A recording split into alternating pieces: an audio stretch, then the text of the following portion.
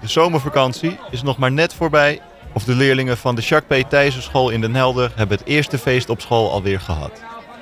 Maandagmiddag straalde de zon over het nieuwe schoolplein van de basisschool. Voor de zomervakantie is het schoolplein volledig vernieuwd en vergroend.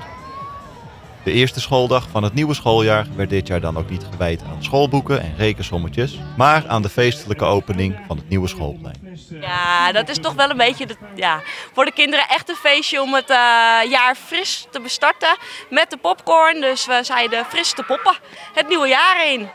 Ja, het is een vergroend plein waar kinderen heel veel fantasie kunnen hebben, lekker kunnen spelen, elkaar kunnen ontmoeten. Eh, er is een boot, evenwichtsbalken, eigenlijk ontdekkend leren, spelend leren. Kinderburgemeester Dien Hoogland was bij de opening aanwezig om de naam van de echte blikvanger van het schoolplein, de grote houten boot, te onthullen. Ik wens jullie allemaal heel veel plezier met het uh, spelen op de boot. En de naam is geworden Thijs 39. We hebben een hele nauwe samenwerking met de marine. Daarom was de marine ook aanwezig. En uh, dat is ook natuurlijk een knipoog naar de boot die we hebben. Van wie is dit mooie plein?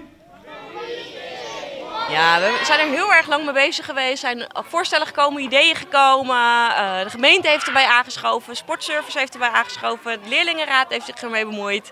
En uiteindelijk is er een plan gekomen en nou, dit is het resultaat. Het is heel mooi en je kan nu veel meer doen dan eerst.